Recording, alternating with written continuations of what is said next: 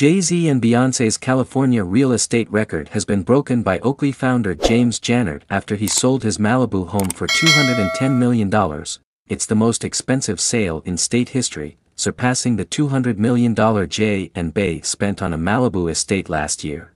How Drake's dad helped squash beef with Common, Jannard has owned the mansion for over a decade, purchasing it for $75 million in 2012, with 8 bedrooms and 14 bathrooms as well as 9.5 acres in land, including 300 feet of ocean frontage, it is one of the most luxurious homes in the U.S. Last year, Jay-Z and Beyoncé coughed up a whopping $200 million on a 30,000 square foot Malibu property that was designed by renowned architect Tadao Ando.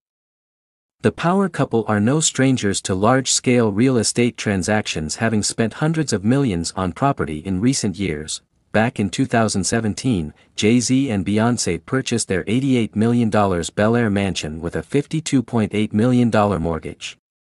According to the Los Angeles Times, that amounts to monthly mortgage payments of $252,075 over 30 years, assuming the interest rate is 4%, the luxury pad boasts 30,000 square feet of living space, a full-sized basketball court, for outdoor swimming pools, a spa and staff quarters.